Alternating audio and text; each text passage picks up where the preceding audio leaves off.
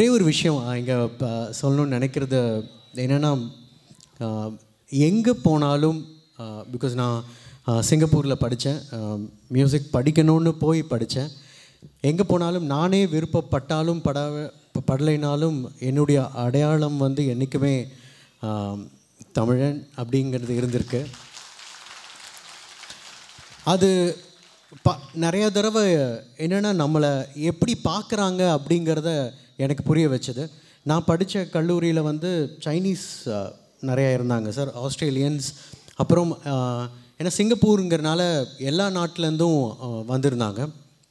வரும்போது ஒரு kind of ஒரு ஃபைனல் இயரில் ஒரு சின்ன ஒரு ப்ரோக்ராம் மாதிரி இருந்துச்சு. அதில் டீம் மாதிரி ஃபார்ம் பண்ணணும். அதில் ஆஸ்திரேலியன்ஸ் அவங்க ஒரு டீம் ஃபார்ம் பண்ணிக்கிட்டாங்க. சைனீஸ் ஒரு டீம் ஃபார்ம் பண்ணிக்கிட்டாங்க. இந்தியாவிலேருந்து நான் ஒருத்தன் மட்டும்தான் போயிருந்தேன். அப்போ எனக்கு வந்து மற்ற கண்ட்ரியில் சின்ன சின்ன கண்ட்ரி இந்தோனேஷியா வியட்நாம் இந்த மாதிரி நாங்கள் டீம் ஃபார்ம் பண்ண வேண்டியதாக இருந்துச்சு. அப்போது என்னை டீம் ஹெட்டாக போட்டிருந்தாங்க. போடும் பொழுது டீமில் ஆக்சுவலி யாருமே சேர விருப்பப்படலை. ஏன்னா நான் படித்தது வந்து மியூசிக் படித்தேன் ஆர்கெஸ்ட்ரேஷன் சிம்பனி ஆர்கெஸ்ட்ரா எப்படி வாசிக்கணுங்கிறது. அவங்க சொன்னது வந்து இது இந்தியன்ஸ்க்கு புரியவே புரியாது அப்படிங்கிற அவங்க மைண்ட் செட்டு அடுத்து சொன்னது டார்க்காக இருக்க இண்டியன்ஸ்க்கு இது வராது அப்படின்னாங்க. எனக்கு ரொம்ப ரொம்ப கஷ்டமாக இருந்துச்சு. பட் நாங்கள் பண்ணோம். எங்கள் டீம் தான் ஹையஸ்ட் ஸ்கோர் பண்ணுச்சு. அண்ட் காலேஜ்லேயே வச்சு அந்த இயரில் நான் வந்து ஹையஸ்ட் மார்க் ஸ்கோர் பண்ணேன். ஃபிலிம் ஸ்கோரிங்கில் ஸோ அப்போ ஒரு விஷயம் என்னோடய அடையாளம் என்னன்னு எனக்கு புரிஞ்சுது. அண்ட் நான் இப்போது இங்கே கேட்டுக்கிறது ஒவ்வொரு விஷயம் என்னென்னா இப்போது நம்ம தாண்ட வேண்டிய தூரமும் சரி த- என்ன சொல்கிறது டிஸ்டன்ஸ் எல்லா தடை எல்லாமே வந்து ரொம்ப பெருசாக இருக்குது சார். இப்போது டெக்னாலஜிலேருந்து எல்லாமே. ஸோ இந்த ஜென்ரேஷனுக்கு மோர் என்டர்டெயின்மெண்ட் நம்ம எந்த அளவுக்கு ரசிக்கிற அளவுக்கு அடுத்த ஜென்ரேஷனை நம்ம எப்படி கொண்டு போகணுங்கிறத யோசிக்க வைக்கிறதுக்கு கண்டிப்பாக ஸ்டெப்ஸ் இருக்கணும்.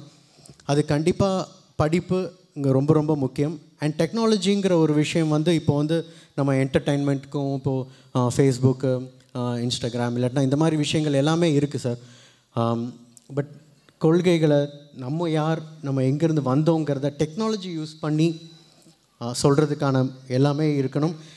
நான் ஒரு சாஃப்ட்வேர் கம்பெனி வச்சு ரன் பண்ணிகிட்ருக்கேன் அது நிறைய பேருக்கு தெரியாது. டெக்னாலஜி வைஸ் சாஃப்ட்வேர் வைஸ் என்ன ஒரு ஹெல்ப் வேணும்னாலும் அஃப்கோர்ஸ் மியூசிக்கும் சரி அதை தாண்டி software development mobile development internet IT எது இருந்தாலும் கண்டிப்பாக என்னோடய சப்போர்ட் இருக்கும். நான் சப்போர்ட் பண்ணுன்னு நினைக்கிறேன். ஏன்னா இது நம்ம யார் அப்படிங்கிறத உலகம் எப்படி பார்க்குதுங்கிறத நான் பார்த்துருக்கேன்.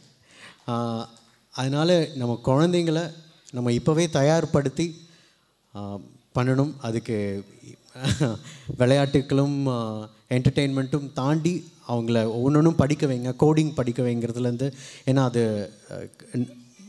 ரொம்ப ரொம்ப முக்கியம். ஏன்னா அடுத்து வரப்போகிற வந்துக்கிட்டு இருக்க காம்படிஷன்ஸ் வந்து ரொம்ப ரொம்ப ஹையாக இருக்குது அப்போ வந்து நம்ம அதையும் தாண்டி நம்ம யாருன்னு தக்க வச்சுக்கிறதுக்கும் இன்னும் ஃபாஸ்ட்டாக போகிறதுக்கும் அது ஹெல்ப் பண்ணும். அதுவே என்னுடைய வேண்டுகோள் என் ஆசை. ரொம்ப பேச்சில் வந்து சொதப்பலான இருக்கிறது வந்து மியூசிக் டைரக்டர் டிபார்ட்மெண்ட் தான். ஸோ பட் ஆனால் இன்னைக்கு ரொம்ப ரொம்ப ரொம்ப சந்தோஷமாக இருந்துச்சு. ஏன்னா இந்த அவார்ட் பற்றி நியூஸில் வந்த உடனே ஒவ்வொரு மெசேஜஸும் அப்புறம் ஃபேஸ்புக்கில் ஒன்று ஒன்று வரும்போது தான் உ- உண்மையிலே ரொம்ப பெருமையாக இருந்துச்சு. ஏன்னா ஓகே என்னுடைய அடையாளம் அடிக்கோடி அடிக்கோடிட்ட மாதிரி இருந்துச்சு. அதுக்கு ரொம்ப ரொம்ப நன்றி. இன்ஃபேக்ட் ஆசிரியர் ஐயா இது ரெண்டாவது தடவை சந்திக்கிறேன். பட் இவ்வளோ க்ளோஸாக மீட் பண்ணுறது ரொம்ப ரொம்ப சந்தோஷமாக இருக்குது அண்ட் கேள்விப்பட்டதெல்லாம் பேசுனீங்கன்னா மன்னிப்பு கேட்டுத்தான் ஆகணும். ஏனென்றால் நடந்ததை பேசி இருந்தால் மன்னிப்பு கேட்க வேண்டிய அவசியம் இல்லை. எனவே கேள்விப்பட்டதை பேசிக்கொண்டு அதை மன்னிப்பு கேட்க மாட்டோம் என்று அவர் பேசுகிற அந்த வடிவம் எல்லாம் சங்கிகளுடைய வடிவம். சங் பரிவாருடைய வடிவம். எல்லா பொய்யையும் சொல்லிட்டு நாங்கள் மன்னிப்பு கேட்க மாட்டோம் நெஞ்ச நிமித்தி நிற்பாங்க அப்புறம் கோர்ட்டில் போய் தான் மொத்தமாக டமால்னு காலில் விழுந்து மன்னிப்பு கேட்பாங்க. எனவே இது மாதிரியான வேலைகளை ரஜினி தொடர்ந்து செய்து கொண்டிருப்பதனுடைய நோக்கமும்